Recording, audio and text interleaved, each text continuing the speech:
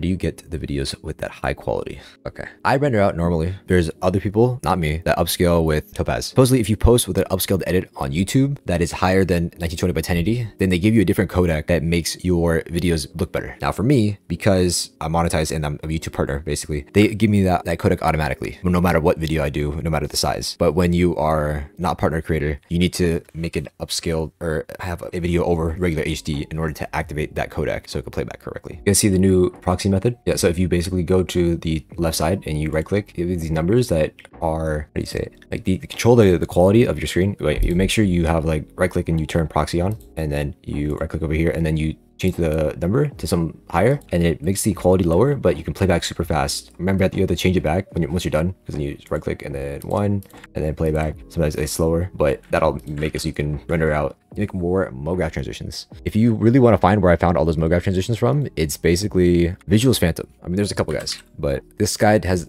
majority of, them. This like this one, I got a lot of transitions from that video, this video. Like the, the original guy that did it was uh, Kiweek. He was like the, the founder. Like my favorite MoGraph edit is this one.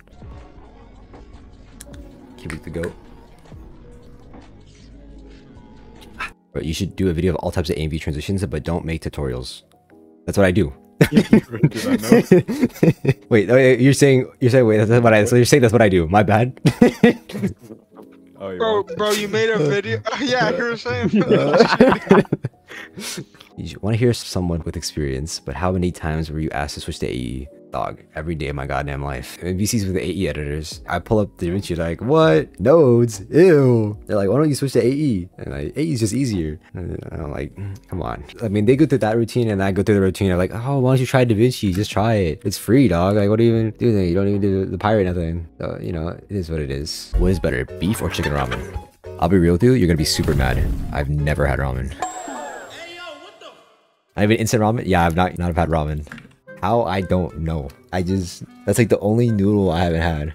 Now after stream, go buy some instant ramen. Do I need to though? What do you eat when you're broke? I got that YouTube money. Oh, I'm playing. Someone who's lived in instant ramen in school, I'm offended. My bad. My bad. You're a ramen version? That's crazy.